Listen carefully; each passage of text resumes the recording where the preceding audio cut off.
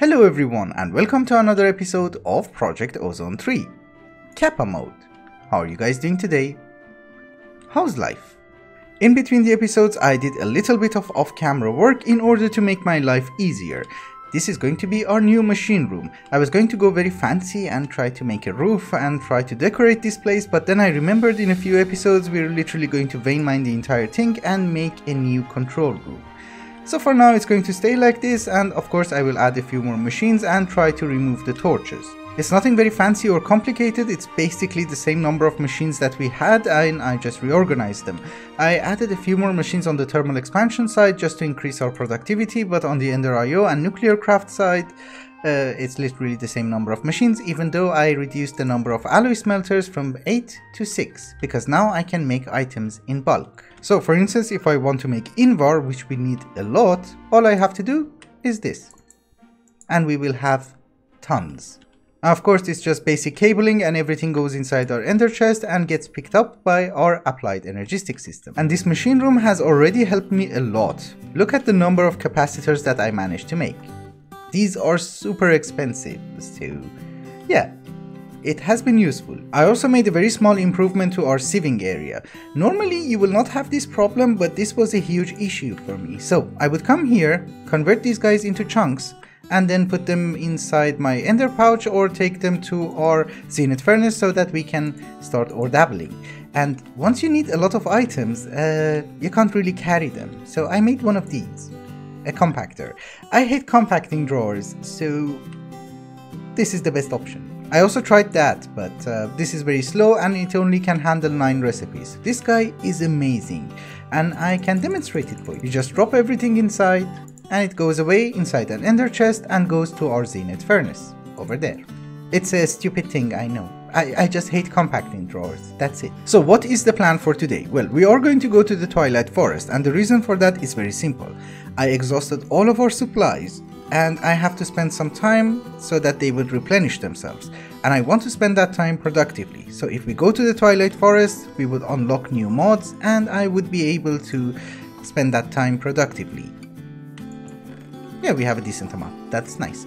So we're going to go to the Twilight Forest and for that we're going to need a jetpack. So, leadstone jetpack, hardened jetpack, reinforced jetpack, and finally the resonant jetpack. Since we are also going to fight in the Twilight Forest, we are going to make this armor plating. It's relatively cheap for what it is, it, and it gives us more protection than our chest plate. And we just have to do this. Nice. I also want to make a new Silk Touch pick because our pick is not the best and it's also Fortune and I want something which is Silk Touch. So someone suggested to me in the comments that if I make the pickaxe head out of cobalt and then make the binding out of prismarine and emboss it with knightslime, I will get an OP pick. The problem is he did not mention which part I should emboss using the knightslime. So is it unnatural or crumbling? Because both of them are valid. So what we're going to do is that we're going to use cobalt, iron for magnetic, and we're also going to use knightslime tool rod for crumbling. No, it's unnatural, sorry. And then we're going to emboss it for unnatural.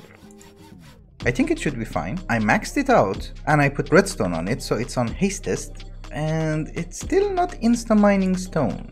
It's considerably faster but um, Maybe I need the aquamarine? But I thought that's just for water. We're also going to give an upgrade to our sword. It does 17 damage and it's only made out of manyullyn.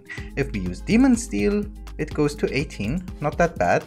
And if we add bones, 19, nice. And then we're going to emboss it using Restonia. The more hearts we have, the more damage we will do and I need a block of gold. I think we have spent enough time on preparation and now maybe we should get to making the actual portal. So for that we're going to need a glimmer crystal and I'm not too worried about that because we only need an exchange tablet and some pedestals and a laser beam. Yeah, or the beam cannon. And that's it. Also a cinder factory thingy for making ashes. So let me craft everything and then I'll be right back. First things first, everything that we need to make on the exchange tablet itself is going to require different aspects on a pedestal and some ashes. The way that we get ashes is through the cinder plinth. And in order to make that, we just need to give it some sort of an item. It could be anything, it will just void it and make ashes. And then we need to provide it with embers. That's not how it is. Yeah, so are you giving me ashes? Yes.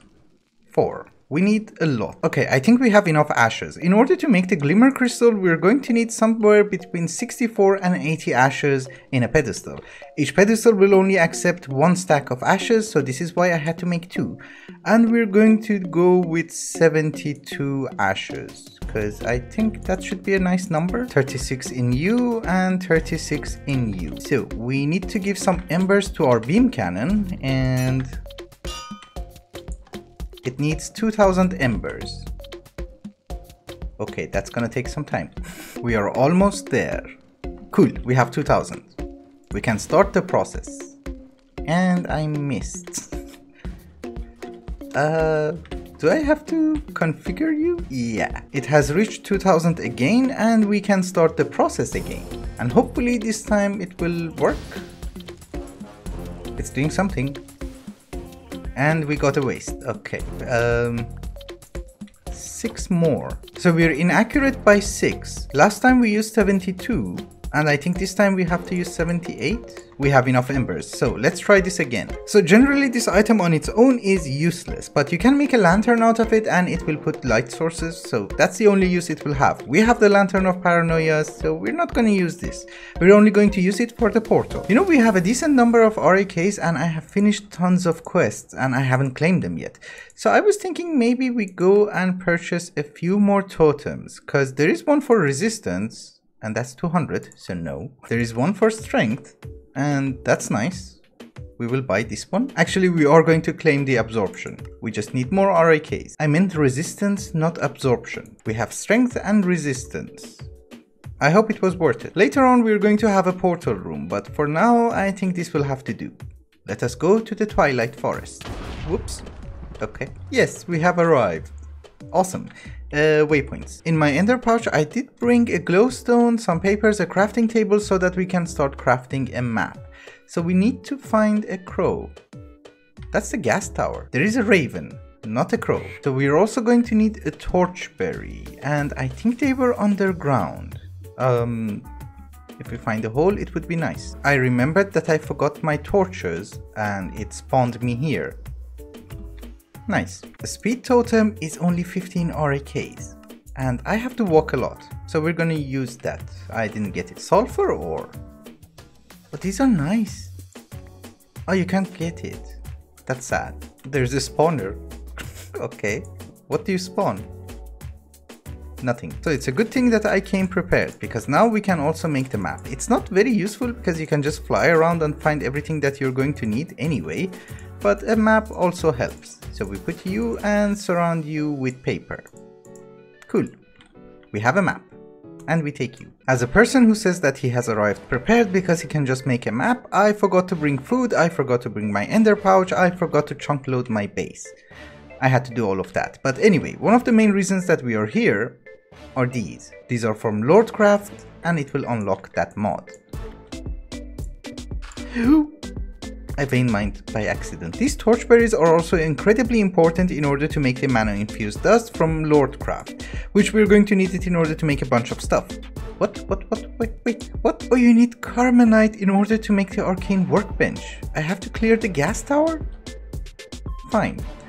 anyway, I was going to say these guys are important and there is a mob which drops it. And I think I just saw a hut. It's a skeleton druid or something? Yeah, maybe we get one. There should be a spawner. Are you a druid? Yes, come with me. Actually, we take you to... There's a downstairs. Since when? Okay. Nice. That's a trap chest.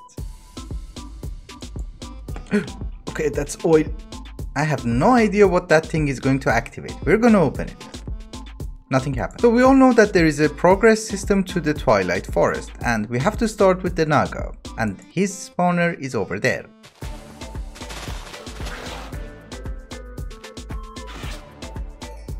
The Naga has been taken care of and now we need to fight the Lich King. I hate hover mode. Okay, it's L.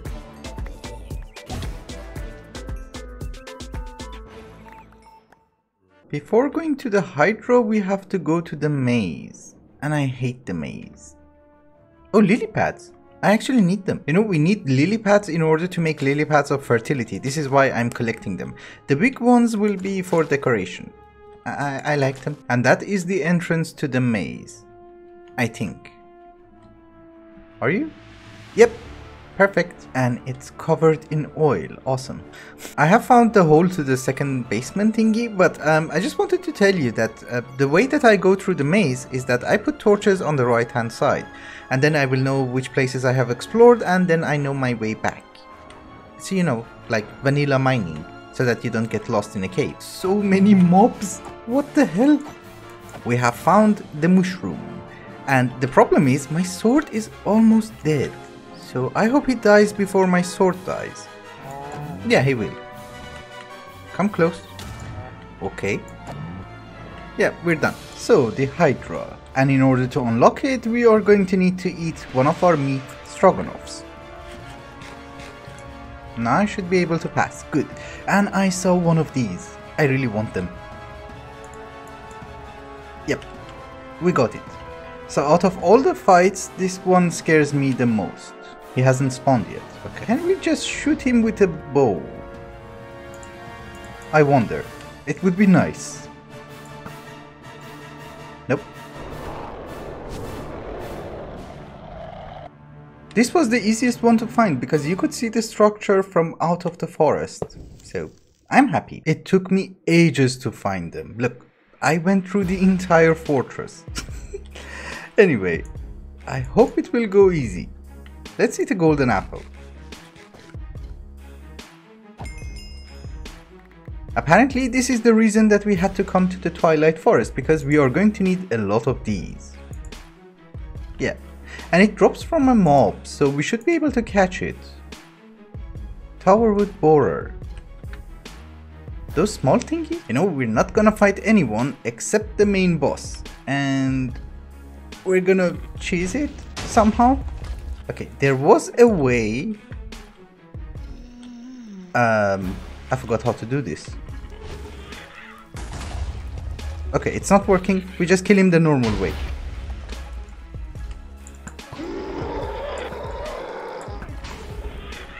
So if I'm not wrong, and my helmet broke by the way, there is something like a silverfish here, and if we capture one of them, that should give us the thing that we're going to need. Whoa!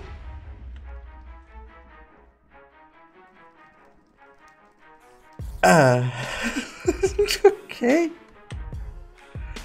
Yeah. Oh, he died. Okay, so we need one of these silver fishes and we're going to take him home.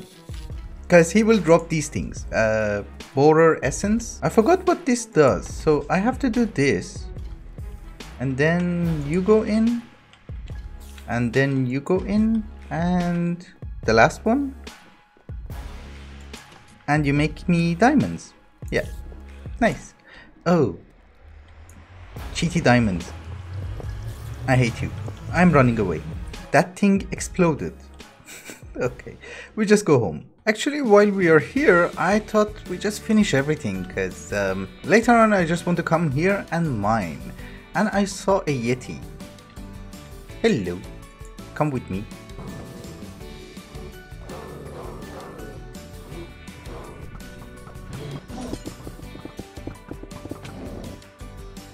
And obviously you cannot leave the Twilight Forest without a penguin. And here we're just gonna vein mine cause I think that's the easiest solution.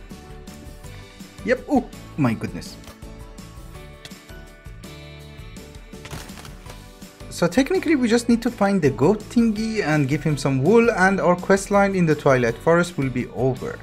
But there is a final boss which has never been implemented and I'm not sure if we have to take a visit there as well. It couldn't hurt. Oh, I can't go in. Ah. Uh, I need to do something then. I have to find the Lamp of the Cinders in the Troll Cave. Okay. The easiest way to find the Troll Cave is to find the Troll Stones. These guys. I just realized how we should get the lamp. It's in an obsidian casing and what we have to do is to get rid of these guys. And I actually want one of them at least alive. So you come with me. You're handsome. This is not fair. It's inside. Oh my goodness. There's another guy. Are you actually the guy who's going to drop the pig? Maybe. Yeah. My main problem is this troll cave and that stupid cloud city has spawned inside the castle. So I'm not sure if I can even break this. Let's hope I can, because the lamp should be inside. Almost done. Yes, we have it. Okay, that's the magic beans. And here is the lamp. We're done. This guy has gone through an update. Look, everything has changed. So is there a boss? Because there is a spawner, there used to be a sign. Uh-huh, uh-huh. Final boss, you win. You can join the Twilight Forest Discord. Okay, so there is no final boss. Fine. So two very small points. Um, apparently when Minecraft was loading, I lost my internet connection, so my skin didn't load. I still have my beautiful eyes, so it's fine. Another important point is that making an episode about the Twilight Forest is very cheaty because I don't have to spend any time. I spend, I don't know, maybe 3 hours and uh, I have footage for 4 episodes. so I'm going to cut it down as much as I can. And then I had a project in mind for the next episode, which we're going to do it today. If it's useful, it's going to be amazing, but it requires a lot of grind which I will do off camera. Basically, I'm going to make a bajillion capacitors and then I will bring you in. Alright guys, it's been quite a while later and I did manage to make 218 of these capacitors, which we're going to use them very soon. I even had to make an extra empowerer and we're going to use those capacitors in order to make a digital miner. Hi, it's going to be super expensive, but we're gonna do that. The first thing that we're going to need is a bunch of alloys, the enriched alloy, and also a bunch of circuits. I'm cooking more redstone. Good. For the robot, we're going to need an osmium compressor. Okay, it's not that bad. We have an osmium compressor. Everything is incredibly slow and I cannot afford the alloys in order to make the upgrades, but uh, I can wait. And our robot is ready. Now comes the really stupid part. We are going to need to make two of these teleportation cores and each of them requires four warp stones and each of them needs an ender crystal. So I have to go to the end and get a few endermen. That should be enough, right? Yeah, we take you, you, you, you, you, you, you, and you. We make the end crystal, some atomic alloys, warp stones, and two teleportation cores. And we can get our digital miner. Piece of cake. And if you're wondering how many resources went into this project, my ME system is almost empty. And we are going to try our new digital miner in the Twilight Forest because it's always sunny here and I can use solar panels because making a quantum entangloporter is just no. We're also going to see if this guy can find us crystals from Lordcraft. It would be amazing. He can. Haha. I brought some speed upgrades. I did bring a chunk loading upgrade, but I also made one of these spot loaders, because I don't know if this one works, because sometimes it doesn't. This guy is also incredibly useful for us because we can ask him to mine all the ores. And I think this is how you do that? Yeah, perfect. Mine everything. The digital miner is going to be super useful for us in the future and it would be very prosperous if we use it in the deep dark. But for that I need to make quantum entangloporters because we need to transfer the RF. And the recipe for this is not very cheap. So this could take some time, but eventually that's the goal. For now, we just take the crystals. That's a bajillion. This is a bajillion. Yes. Alright guys, I think it's also a good time to wrap up the episode. Thank you so much for watching, and I hope you enjoyed it. Till the next one, bye bye.